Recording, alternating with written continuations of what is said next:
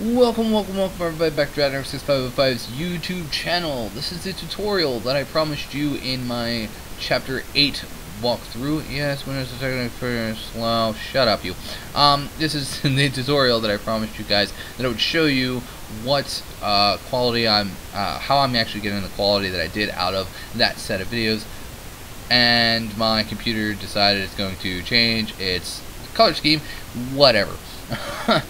So, um, what I'm going to show you guys is how I got the quality out of that set of videos again, so that uh, if you are into recording from your Dazzle DVC100 or whatever Dazzle device or DVR device that you have, this can make it a lot simpler for you guys.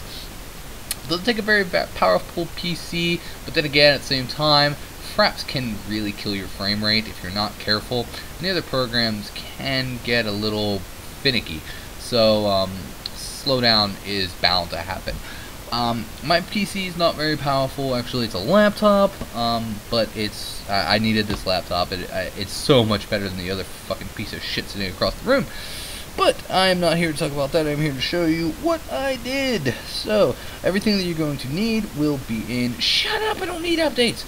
Everything that you're going to need will be down in the description box below, and you can find things there for yourself um, by whatever means necessary that you need to do.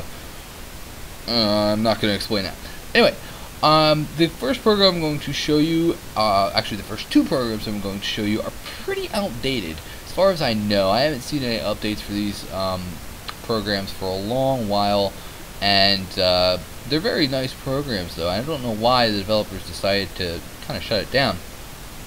But the first program is VH Multi-Camera Studio. VH Multi-Camera Studio is just that. It is a multiple camera source program, meaning that you can bring in multiple sources and set them around so that uh, those sources can be output into one full source to another program that can capture this source. So this is basically a source for video sources.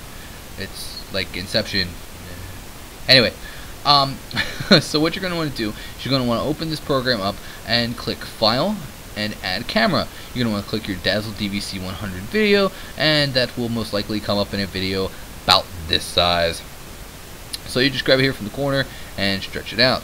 It is going to look like this though, meaning that there will be black bars. So to get rid of that, you're going to want to right click inside of the source and tick this little box right here, and it will stretch it out um, to the full aspect ratio.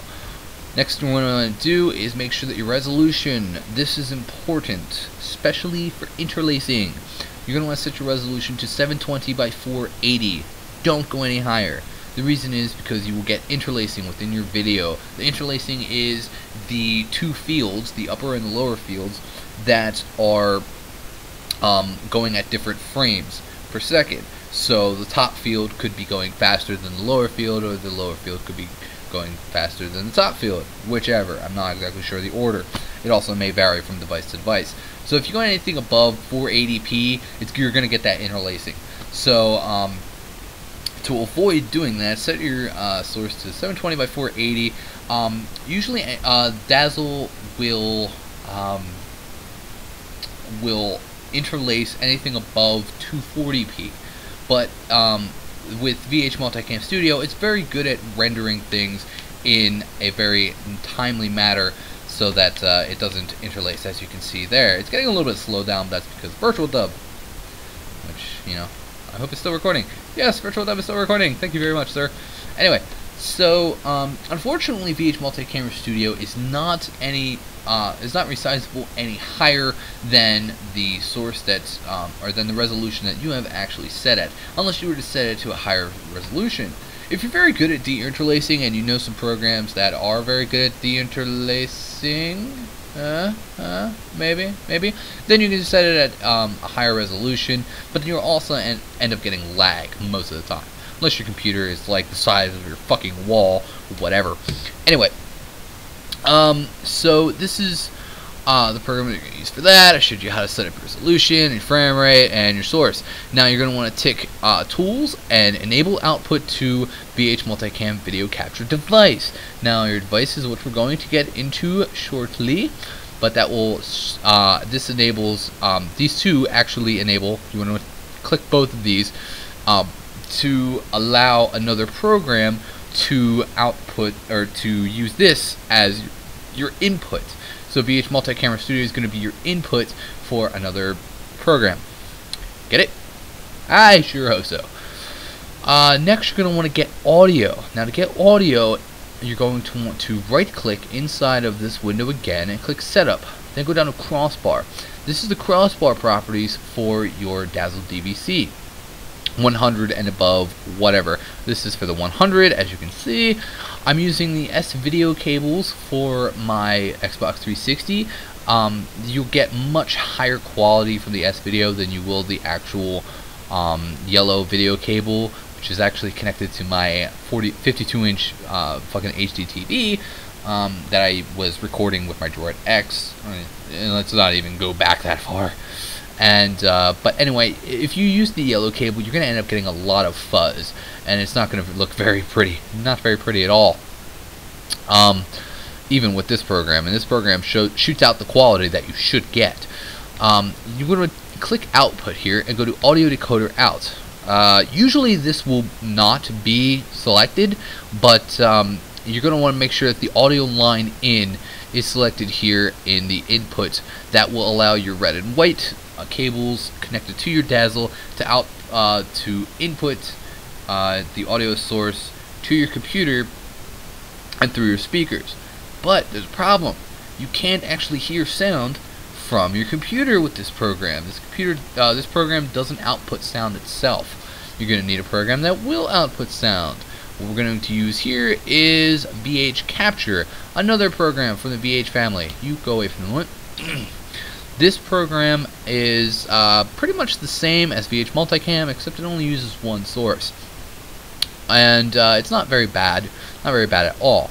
But this is the only reason that we're going to use VH Capture, and that is to output sound from your speakers. Now, you're going to want this program to just lie in the background. There's a recording option here. If you can see this, which I'm sure you can, it's very, very pixelated very pixelated. It does not look very pretty at all, even at the lower resolutions. And uh, it's gathering pretty much gathering the um, this as you, its source and uh, cutting the um, quality in half. So pretty much all you're going to want to do with this program is make sure that your video capture source is set to VH Multicam and then your audio capture source is set to your Dazzle. You're going to right click inside of this and click Force Audio Rendering. You're not going to be able to hear it right now from my computer unless I turn my speakers up, but I'm not going to do that for you. But there is indeed sound coming from my computer. So now, if you pr pretty much if you wanted to, you could play your uh, Xbox 360, PS3, whatever your you uh, device you have connected here, um, directly from your PC. If you put it at a lower resolution, then this is going to make uh, a bigger. This is going to be a bigger screen for you. and you can actually play from here. Um, without the recording, I get no frame skips. None. I get thir uh, constant 30 frames per second.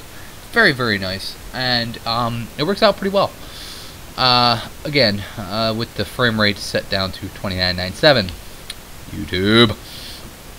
So, now that we have that all set up, we're going to want to open Fraps. Now, I did mention that I was using Fraps in uh, my recording, of my Dead Space set. Chapter 8, Search and Rescue, by the way. Go ahead and check it out. Ignore that. Uh,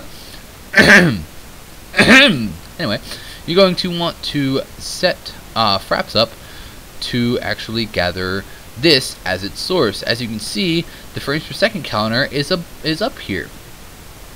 That is because um, Fraps actually recognizes this as a uh, format that it supports and can actually stream this and record this whole screen.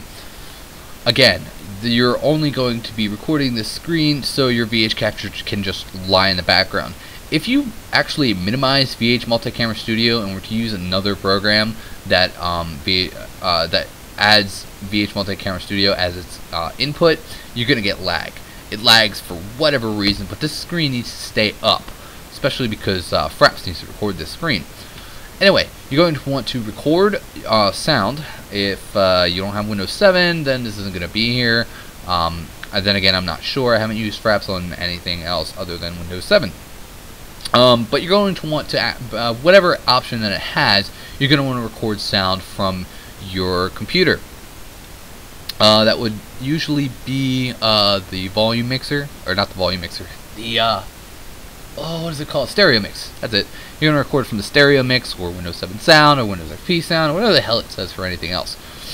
Uh, you're gonna, if you're doing commentary with your videos, you can record from the microphone, which is always handy because sitting there watching somebody play a freaking video game with no commentary is kind of boring. I don't watch anything on YouTube without commentary. I really don't like to. Why? Because commentary can be fun. It can be a lot. It can be hilarious. It can be intuitive. Plus, it also gives your viewers a demonstration and somebody uh, to interact. Well, well, you're not really interacting. It's a video, you know, so you're not really interacting with anybody. But it gives your viewers um, a sense of uh, not being alone. You know, you got somebody talking to you and telling you what's going on. That's that. That's why um, I do commentary with my videos. I don't like to be I don't like to be alone when I play video games. When I when I want to watch somebody play a video game, I want to have them with me. You know, I don't want to be alone. Really, nobody wants to be alone. You don't want to live as a hermit for the rest of your life. Anyway, I'm digressing. Um, set it to full size if you have a powerful enough PC. This will actually output in 720 by 480, and set it again to 2997. Um, you can lock the frame rate. Uh, and hide the mouse cursor. Please hide the mouse cursor. Please hide your mouse cursor. If you're actually outputting this, a lot of people have a tendency to click in here and let their mouse sit. Well, then your mouse is going to show up in the video. Don't do it. um, basically, that's it. You hit F9, and you're good to go. I hope you guys enjoyed this video. Um, I plan on doing some more Dead Space shortly when my throat clears up. Um, I will also do another video showing you the settings that I have for Sony Vegas up here. Hello, Sony Vegas Studio HD Platinum 10. Um, and show you what settings that I use for that. These videos are everywhere for Sony Vegas. I don't even know if I need to put a video up for that. Seriously, they're fucking everywhere. Go find one. You don't have to come to me.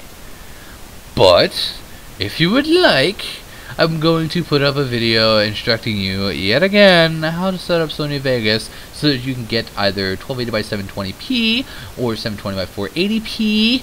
And, uh, yeah, if you um, actually output your video from Sony Vegas, if you already know how to do this, you can output it to 1280 by 720 without too much quality loss, if done correctly.